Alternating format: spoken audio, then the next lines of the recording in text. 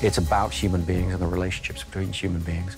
But for me, when you're dealing with the vastness of the universe, it's going to have to be the most ambitious film you've done. And that takes a number of different forms. He loves to work from reality. When we turn around and say, oh, a dust storm, you figured you were going to just look at an empty landscape and that they'd put it in later for us, so we would have to pretend. No. Chris wants to always do as much as you can practical. I mean, if, if you can achieve it in camera, that's always the goal. If you're shooting someplace that's cold, I find it helpful to feel the cold. How would you re recreate the biggest glacier in Europe in a studio? You wouldn't.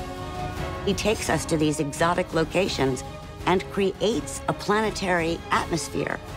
He's filling the screen with a real image that feels real because it is real.